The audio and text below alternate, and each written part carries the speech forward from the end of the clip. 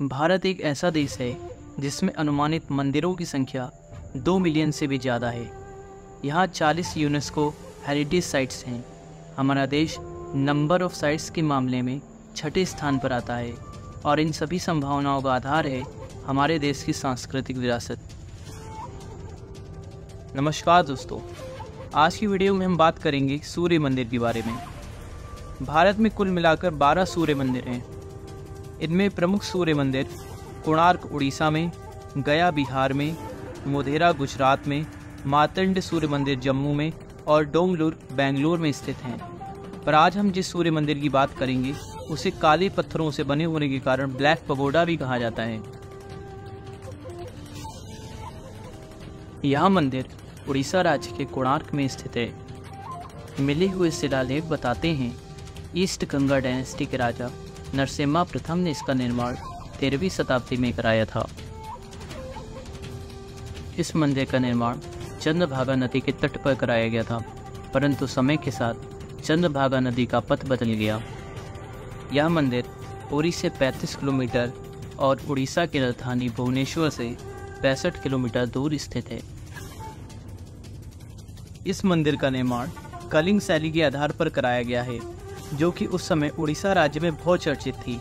इस मंदिर में 12 जोड़ी रथ के पहिए और उन्हें सात घोड़े खींचते हुए दिखाए गए हैं।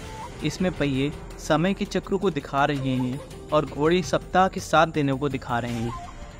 इस मंदिर के तीन मुख्य भाग हैं। मेन टेंपल को विमान कहते हैं, असेंबली हॉल को जग भवन कहते हैं और डांस हॉल को नृत्य मंदिर कहते हैं। इस मंदिर का मुख्य हिस्सा उन्नीसवीं शताब्दी में टूट गया था। इसकी लंबाई लगभग 70 मीटर थी।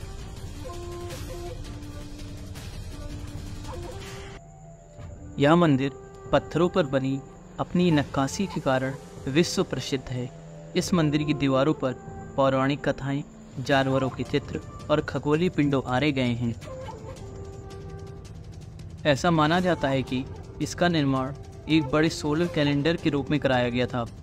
इस मंदिर का निर्माण इस प्रकार करा गया है कि यह सूर्य की स्थिति के साथ सदैव एक सीधी रेखा में रहता है।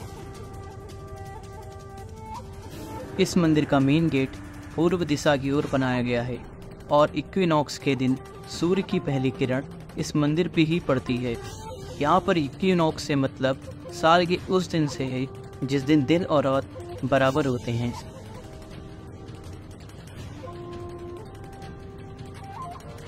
इस मंदिर की दीवार पर बनी नक्काशी सुंदरता के साथ साथ और भी ज़्यादा महत्व रखती है।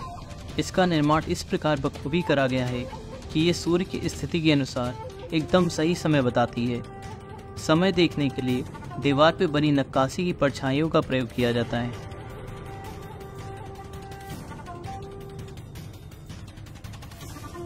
वर्ष उन्नीस सौ चौरासी में यूनेस्को ने इस मंदिर को इसकी स्थापत्य कला नक्काशी और ऐतिहासिक महत्व के कारण वर्ल्ड हेरिटेज साइट में शामिल किया था।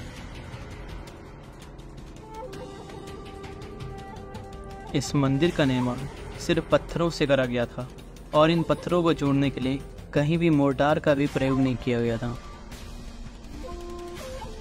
ऐसा माना जाता है कि मुख्य मंदिर, यानी कि मेन सैंक्ट्रम में एक बड़ा चुंबक लगा है जिस कारण सूर्य देव की मूर्ति हवा में तैरती हुई दिखती है। इस मंदिर की दीवार पर बनी नक्काशी में बारह राशि चिन्हों को दिखाया गया है और हर चिन्ह के साथ इसकी विशेष खूबी भी दर्शाई गई है। इस मंदिर में नौ ग्रहों को भी दिखाया गया है, जिसके केंद्र में सूर्य को दिखाया गया है।